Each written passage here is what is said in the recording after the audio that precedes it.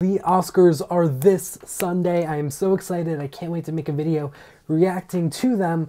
But the Oscars do seem really predictable right now, and we are going to dive into that starting with Best Picture. Yeah, it seems like Oppenheimer's kind of a shoe in here, and you can kind of see in the way I colored it, you know, you got Oppenheimer in green. I have Poor Things as like the dark yellow that's verging on orange, and then everything else is orange or red, which is just very unlikely or not likely at all in my eyes.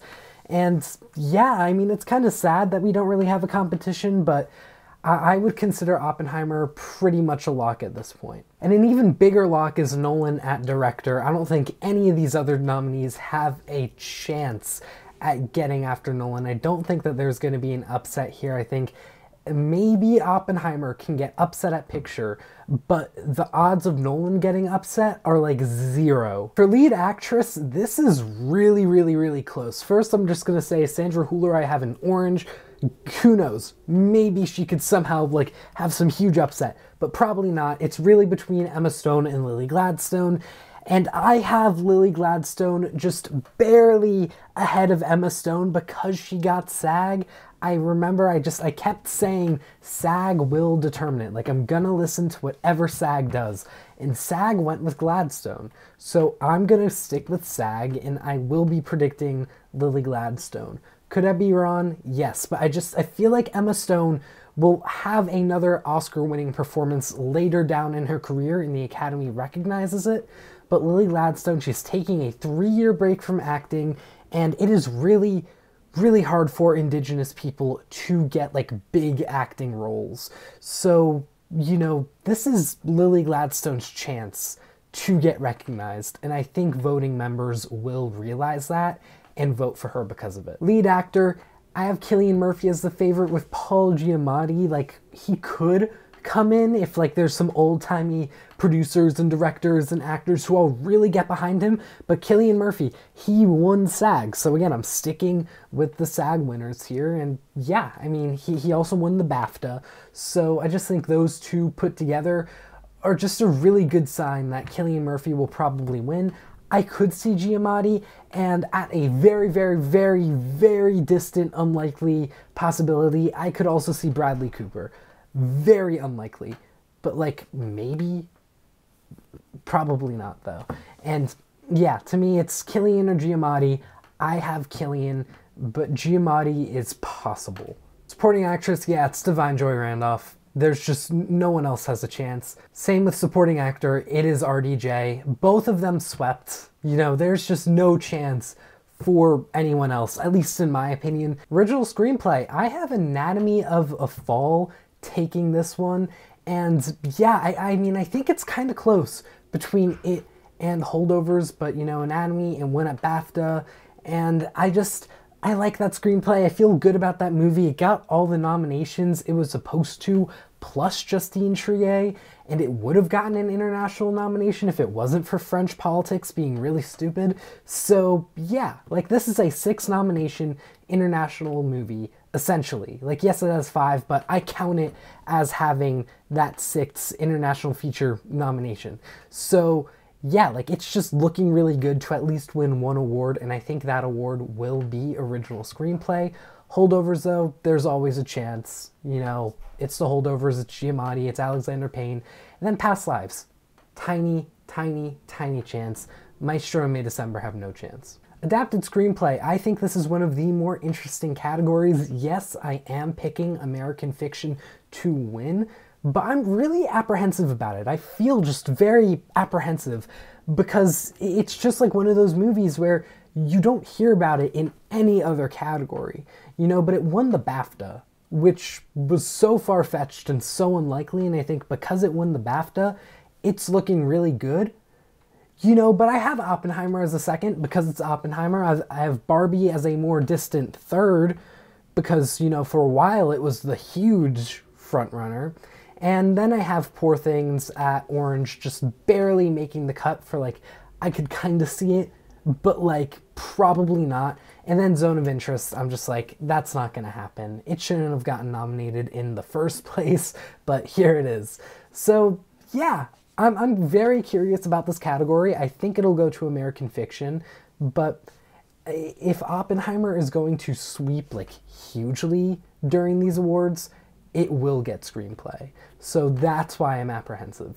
Best animated, this is another really interesting category to me where it is this race between Spider Verse and Boy and the Heron. I have Spider Verse leading right now, but I really think it's kind of neck and neck. And it could go to either, and I think both are really deserving. And then I have Elemental as a very distant third just because it is a Pixar movie and who knows, Pixar movie could just come out of nowhere and win it. But yeah, I don't know. I have a really hard time with this category because Spider-Verse, it took the Annie and it took PGA, but then Boy and the Heron took um, it took BAFTA. So I just I feel like this is a really close, too close to call category. Best documentary, I mean, I think 20 Days in Mariupol has it in the bag.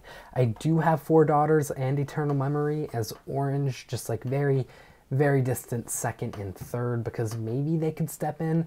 And then the other two documentaries I just don't think are happening. 20 Days has pretty much been winning everywhere where there is a documentary award to give out.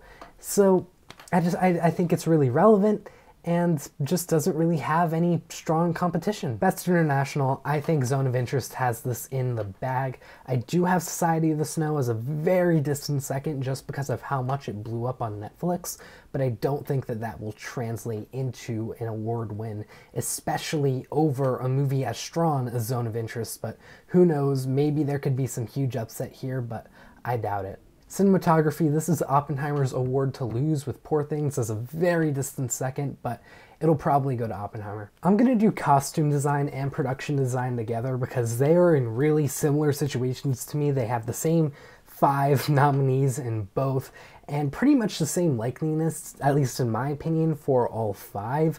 My one thing is just I keep flip-flopping every day between Barbie and Poor Things. So for this video, I am saying that Barbie will win both costume design and production design, but honestly, by the time I'm like doing my little poll for um, the actual like Oscars, I might end up flipping to Poor Things winning both, or them splitting in some sort of way. You know, this is really close to call, and then Oppenheimer I do as, have as a distant third for both because it's Oppenheimer. I just can't rule it out. Editing, I have Oppenheimer winning it.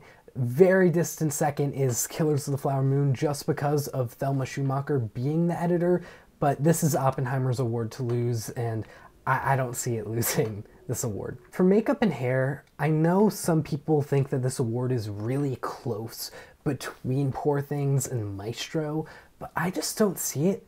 I feel like the excitement for Maestro has been so, so weak, and I just feel like people want like a creative winner, and that's what Poor Things is. It's makeup and hair isn't just recreating something, it's creating something new and unique and fresh, and it just feels so creative. I don't really see Maestro having that great of a chance, though I do have it as the distant second right ahead of Oppenheimer, but I, I really do have a bit of a toss up between like Maestro and Oppenheimer for who is in second place you know, and then Society of the Snow and Golda, I just have like no chance for either of them. Even though I think Society of the Snow would also be a really good winner, I just think that despite its huge popularity on Netflix, it just came around way too late. If Netflix wanted this movie to have a chance, they should have released it in like early to mid December. Score, it's Oppenheimer pretty easy. For Son, I, I really think it is this battle still between What Was I Made For and I'm Just Ken, but I do have it really going for What Was I Made For now. For a while, it was kind of a toss-up to me, but as time's gone on and What Was I Made For has just continued to win a lot more than I'm Just Ken has, I've, I've fallen in line with everyone else in picking it. However, I'm Just Ken is being performed by Ryan Gosling at the Oscars, so like who's the real winner here? Sound, I think it's pretty close between Oppenheimer and Zone of Interest. I do have Oppenheimer taking it, but if it ends up being Zone, I could totally see that. Personally, I would give it to Oppenheimer though, and I just think with all the hype behind Oppenheimer, I, I have Oppenheimer winning it here, but again, if Zone got it, I wouldn't be too shocked. And finally, for visual effects, I have Godzilla minus one taking it now. Previously, I did have the creator, but I, have switched sides, you know, because the creator has looked really weak. You know, it's been the favorite to win this award, but it hasn't really won a lot of the prerequisites. You know, they've given it to movies like Poor Things, which aren't even nominated.